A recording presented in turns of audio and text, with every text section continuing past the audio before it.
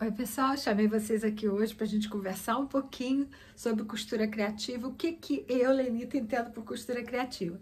Se você é novo aqui no canal, nova, eu sou Lenita Cortes, esse canal tem hoje a, vamos dizer, a meta de focar em costura criativa, mas vocês vão sempre ver algo também daqui de casa, eu sei que vocês gostam, tipo, de ver limpando casa, eu confesso a vocês que hoje eu limpei, mas não deu tempo nem de pegar a câmera, mas eu só aspirei e varri o quintal. Esse testacel aqui, eu mostrei para vocês como eu fiz no vídeo anterior. E deixa eu falar uma coisa para vocês. Ah, antes, eu tenho um curso de costura criativa começando do zero, tá aí na descrição o link e no primeiro comentário para você conhecer o meu curso. Tem um monte de coisa que eu quero falar para vocês. Isso aqui é um secador de roupa que está um pouquinho até quebrado. Vocês acreditam que foi a primeira peça que eu instalei aqui nessa casa? Esse simples secador de roupa. Tem tanta significação para mim, sabe? Tem tanta coisa que ele fala ao meu coração. Quando eu estava prendendo ele aqui, a primeira vez que aqui fica o tanque, e quando eu estava instalando, veio uma brisa do mar, aqui era tudo aberto, veio aquela brisa do mar, eu senti tanta presença de Deus, sabe? Então, eu, para mim, tem muita coisa que significa muito para mim. E é isso que a gente vai conversar nesse vídeo de hoje. Então, deixa eu virar a câmera. Bom, aqui tem aquelas coisinhas que eu faço, que vocês veem, né? E olha só, achei isso aqui no lixo. Eu fui buscar uma amiga lá fora na sexta. E aí eu falei, nossa, tem uma coisa ali no lixo, uma gaveta. E isso aqui não tava prendendo de jeito nenhum. Essa porca minha, que a porca real daqui perdeu. Aí esse aqui eu tirei com a porca dele. Hoje eu falei, olha, peraí, isso aqui é meu tripé que tava bambo. E agora eu resolvi com um puxador que eu achei ali no lixo da vizinha. Então vamos lá. Pra mim, tudo isso aqui é costura criativa. Cortina, pra mim, é costura criativa. Ó, macramê que eu já ensinei no canal. Ali é o trabalho que eu tô fazendo para entregar para cliente, costura de mão almofada, cortina, uma pipa que você faz, né, para enfeitar, tudo. Ah, tem as bandeirinhas que eu tô para ensinar vocês, né? Vocês já até me pediram. Então hoje eu varri quintal, lavei roupa que tá na corda, aqui tá esperando para é, botar no lugar. Isso aqui é a misturinha que eu faço, que é álcool, água e amaciante de roupa. E eu boto, tanto boto nas cortinas, coisa como eu boto na roupa quando eu vou botar na corda. As cadeiras daqui estão lá na varanda que eu botei no aniversário de papai. Pra gente sentar porque estava chovendo e lá ficaram. Esse tassel aqui, muito lindo, que você pode fazer. Uma sugestão até de uma de vocês aí, de fazer para vender é, chaveiro. E tem esse lindão aqui, que ficou muito bonito, né? Sei que vocês amaram. Tô doida para fazer um joguinho de banheiro para botar aqui no banheiro, eu mesma fazer. Esse aqui eu ganhei do baiano. Deixa eu acender aqui a luz. Isso aqui era uma colcha da minha tia, da, do casamento dela. E ela me deu, tava cheio de furinho, ela ficou sem graça quando me deu. Ai, Lenita, eu não sabia que tava com esses furinhos. Eu, tia, pode deixar. O que, que eu fiz? fiz? Cortei, fiz ele dobrado, forrado, e botei aqui porque cobre o, o boxe.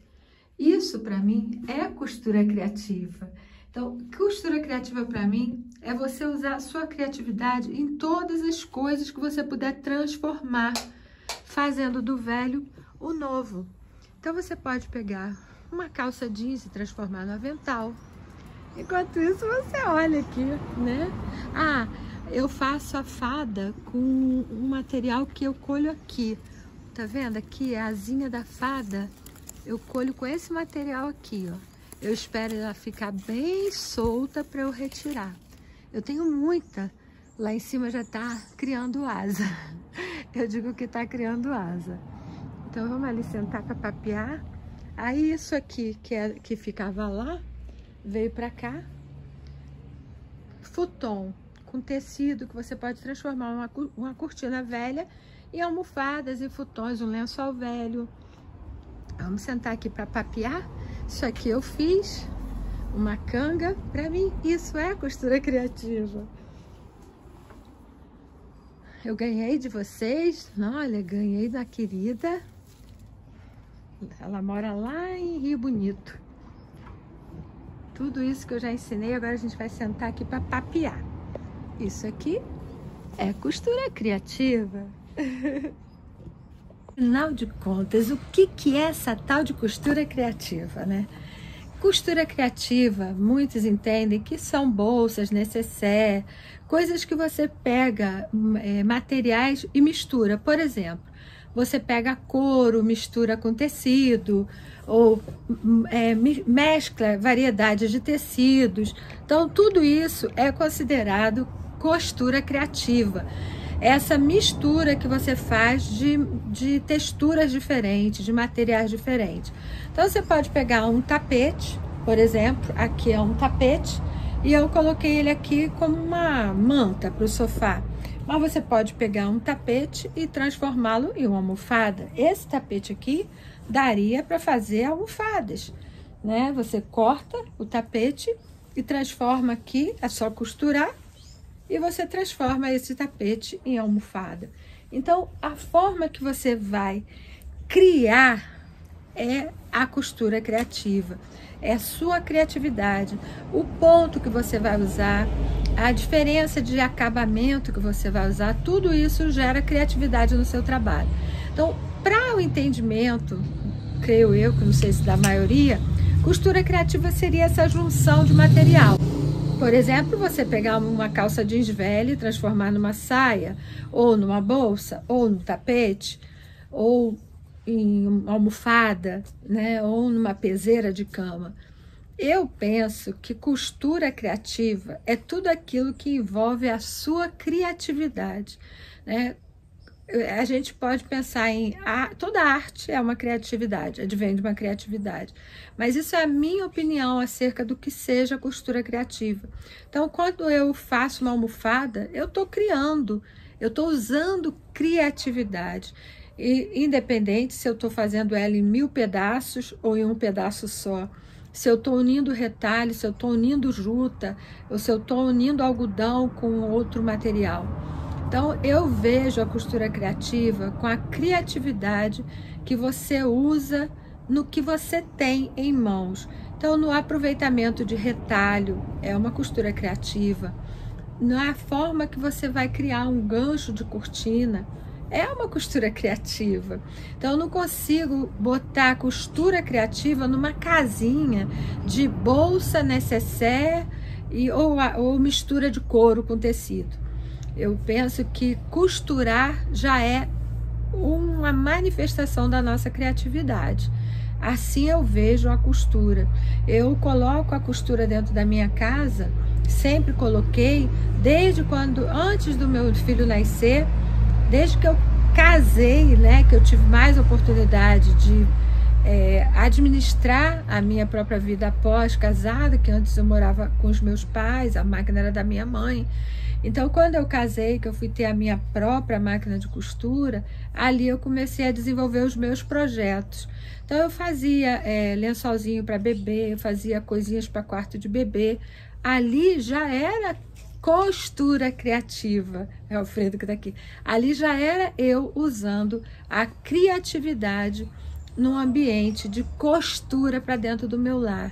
Então, quando eu convido você para conhecer o meu curso de costura criativa, eu vou te ensinar, na realidade, costurar. Costurar não a costura de modelagem para vestimenta, mas a costura de modelagem para o seu lar.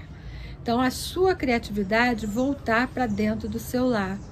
E assim você criar coisas e se você vai usar um tecido que você vai comprar numa loja, ou se você vai usar um lençol velho, uma colcha velha, um tapete, é a sua criatividade. Eu não sei se vocês já mais antigos aqui vão lembrar, o Zé Carlos, quando era vivo, ele tinha o hábito de participar de tudo que é esses clubes, né, de que ganha pontos. E tem o supermercado aqui, que é o Carrefour, e ele tinha, ele fazia compra lá e tinha pontos. E um dia ele tirou o edredom. O edredom era bem fininho, né? O edredom de solteiro. Aí eu, ele falou que eu não sei se eu pego uma sandália, eu pego um edredom. Eu falei, não, pega o edredom que eu tô querendo fazer um futon para a cabana do Bento. E assim eu vou usar o edredom para isso. E eu fiz todo à mão, porque era tanta gente dizendo para mim: eu não tenho máquina de costura, ensina a costurar à mão. Então eu fiz coelhinho à mão, eu fiz almofada à mão, eu fiz o futon à mão. Então, se você é novo aqui no canal e não sabe, eu tenho tudo isso na playlist de costura criativa. E eu peguei aquele futon e transformei aquele, desculpa, eu peguei aquela colcha de solteiro que tinha edredom, ela acolchoadinha, e transformei na capa para fazer o futon para a cabana do Bento, usando dois, dois, é, dois colchões de solteira, que é de camping. Eu cortei eles no meio, porque ali não cabia, juntei os dois para ter um volume. Então, são dois colchões de camping com uma colcha de edredom. Então, isso é costura criativa. Eu tô falando e vocês estão vendo as imagens aí que eu tô colocando, né? É, você pode aproveitar, às vezes, a, o lençol da traça, né? Ou roupa velha. Gente, roupa velha dá para aproveitar, né? Eu já transformei saia em avental, já transformei. Na realidade, eu transformei a calça em saia e depois a saia em avental. Mas você pode transformar em bolsa. Aliás, é uma coisa que eu estou para ensinar vocês, para a gente fazer juntas uma sacola. De repente a gente faz isso numa live, quem sabe? Vou preparar essa live para a gente fazer. Eu amo sacola. Eu tenho duas. Uma eu ganhei, a outra eu fiz. Tem o projeto dela aqui no canal, mas nada impede que a gente faça outro, né? E é porque são vídeos bem antigos que tem aqui. E você pode fazer aí com aproveitamento de material. Né? E é essa a ideia. Eu queria vir aqui falar com vocês sobre isso, o que eu entendo por costura criativa, né? E como eu acho importante a gente saber fazer para dentro da nossa casa usar a nossa criatividade, a combinação de cores, né? Tudo isso faz parte de qualquer arte, né? Se você é um pintor de quadro, você tem uma manifestação de, dentro do seu pensamento em como aquelas cores combinam. E na, na, na, na, na alfaiataria, olha aqui, uma calça que foi pintada, obviamente alguém criou esse projeto e misturou essas cores e ela super funcionou. Então, na costura criativa, uma dica que eu dou, na costura né, que a gente vai criar, uma dica que eu dou para você é que você olhe, observe a natureza. É, eu vou dar uma volta aqui com vocês rapidamente, antes da gente encerrar esse vídeo para vocês verem como a natureza se manifesta em cor, ensinando para gente é, como a gente combinar as cores. O meu jardim nem está tão florido hoje. Quando ele está muito florido, eu fico impressionada. Que se você observar o próprio tom das folhas, não só das flores, você vê a diversidade de verde que tem na natureza. É uma diversidade imensa dos tons de verde. E se você observar a folha, a flor, né, orquídea ou qualquer outra flor, você vê que ela vai mudando para dentro. E às vezes ela nasce de uma coisa e ela vai se transformando. Então a natureza é pura criatividade, né? E vamos chamar da costura criativa de Deus, né? Pois é, a gente está imitando a arte divina. Então quando você cria aí na sua casa, quando eu crio na minha, a gente na realidade está imitando o Pai, né? Está copiando a beleza divina e trazendo para dentro da nossa casa. É assim que eu vejo a costura criativa. É dessa forma que eu me inspiro né, a criar coisas. Né? Eu olho, eu pesquiso muito no Pinterest, mas a maioria das coisas surge talvez por pesquisas que tenham ficado arquivadas no meu cérebro. Uma coisa boa é você às vezes entrar numa loja, está entrando no shopping, entra, observa, não é para comprar, eu não, dificilmente eu compro, gente, mas você entra e observa as coisas que dali pode vir uma inspiração, como foi o caso daquele que está aqui na frente. Eu já havia, eu já havia feito esse projeto para vender até usando retalhos de couro no que eu ganhava, né? Eu ganhava, de ganhar de uma de sobra de loja. Então eu fiz muito cachepô para vender em bazar, né? Bazar beneficente, eu fazia para doar. Mas quando eu vi, eu falei, ah, posso fazer isso lá pro canal. Eu já não lembrava mais que eu fazia tanto isso. A gente esquece. Então é isso, a gente pode usar a criatividade para trazer para dentro da nossa casa mais beleza. Essa, eu estava aqui, estava lembrando que vocês me pediram para ensinar essa florzinha aqui, né? Eu vou ensinar para vocês. Aprendi, aliás, um coração tão facinho. Vocês querem aprender? Mas já eu querendo ensinar o coração. Sentei aqui para fazer uma coisa, mas depois eu ensino bem facinho, um coração bem simplesinho que eu aprendi. Ó, tá desmanchando aqui, ó. E aqui, tá vendo a combinação de cores de fuxico, que coisa mais simples? Isso aqui eu comprei no, no Tiradentes, numa das minhas viagens com o Zé. Tem muitos anos, que a gente viajava todo ano para Tiradentes, né? Isso aqui é uma lojinha que tem lá de uma família. Eles ficam lá em bichinho. E essas almofadas, eles fazem, aumenta, eles fazem almofada, avental, toalha de mesa, tudo com esse estilo, fuxico ou retalhos. E a, eu gosto muito, eu tenho muita coisa dele. Já me desfiz de muita coisa, porque eu acabei, tinha aquela coisa que você. É, gente, quando tinha bazar, eu dava tudo meu. Quando tinha pouca mercadoria, eu esvaziava a minha casa. Tinha essa mania. Como diz a Lu, você dava tudo. Pois é, agora mesmo. Eu fico fazendo muita arte, fico olhando, nossa, daqui a pouco eu tenho que dar um pouco dessas coisas. Eu dou mesmo, sabe? Eu não tenho o menor problema com relação a isso. Né? O apego que eu sou é apego às coisas de Deus, às coisas divinas, às coisas que nos nutrem, né? É a família. Esse é meu apego. O resto, tudo aqui é passageiro, mesmo a família, né? O Zé hoje não está mais aqui comigo. Então tudo passa, né? Mas um dia a gente vai se rever. Louca para chegar logo esse dia. Vou passear com vocês aqui para ver se a gente acha flores aqui no jardim. Já aqui a gente pode ver a nuance dessa cor dessa planta. Você consegue ver quanta, quantas cores só pela luminosidade do sol? Pois é. Aqui a gente tem, deixa eu afastar aqui. Aqui a gente tem essa planta aqui. Vamos olhá-la de perto.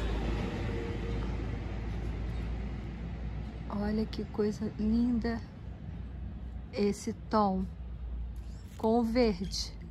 Você acha que combina? Olha aquele vermelho, aquele coral lá da, atrás da, da, da cesta de basquete. Tá combinando? Sim, tá combinando. Então as misturas, olha o coral da bola com verde. Que coisa linda que tá. Vamos montar aqui para Olha aqui o amarelo da folha com o verde. Que combinação perfeita. Vamos ver se a gente acha mais flores. Olha essa aqui, a combinação. Tudo isso é combinação de cor que a própria natureza ensina. Vermelho mais matizado com vermelho mais escuro. Aqui, quando ela nasce, olha aqui. Olha o matiz. Combinação de cor. Aqui,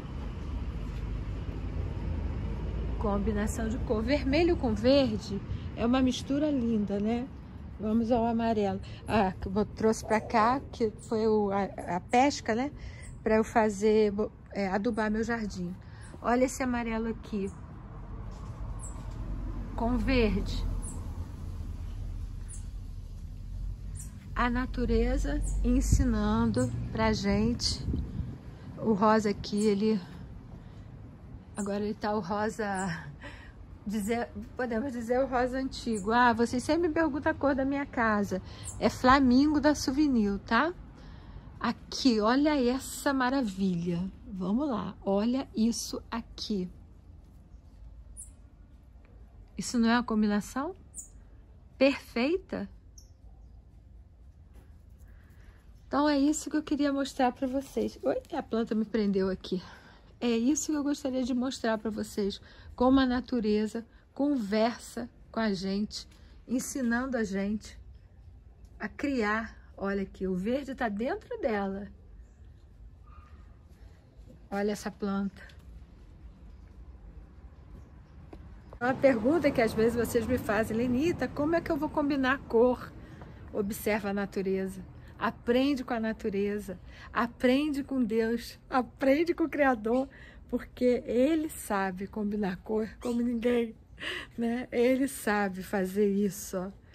É com ele que a gente vai aprender. Observa a natureza, só isso. Olha aqui. Observa a natureza. É esse convite, observa a natureza divina e observa a tua natureza, para que você crie cada vez mais coisas lindas aí para sua casa, para esse ambiente. Transforma a sua vida, transforma a sua casa. O filtro solar, coisa mais linda.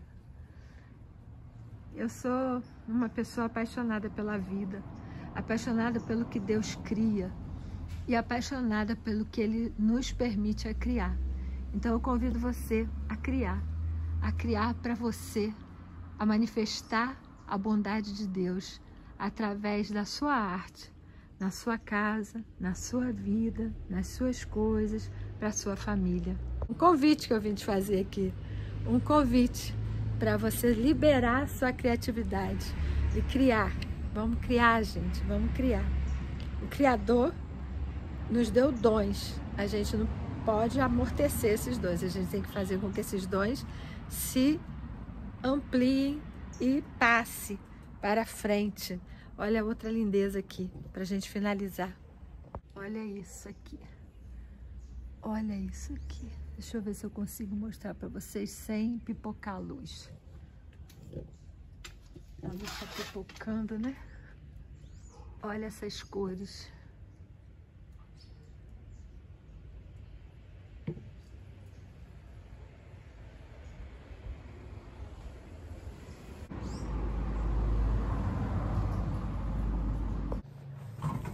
Eu vou ficando por aqui, vou voltar para o trabalho, vou voltar para a costura de mão, que eu estou terminando, para fazer entregas da minha costura criativa, que eu ando espalhando aí pelo Brasil afora, até para fora do Brasil. A costura criativa está saindo das minhas mãos. E eu espero que ela saia da sua também, para embelezar a sua casa, a sua vida, a vida dos seus amigos, da sua família e quem sabe a vida dos seus clientes, não é não? Porque eu tô aqui para te inspirar. Eu tô aqui para passar o que eu sei para você e aprender com você também. Paz e luz, até o próximo vídeo. Tchau, pessoal. Beijo, gratidão, sempre. Tchau! Tchau, pessoal.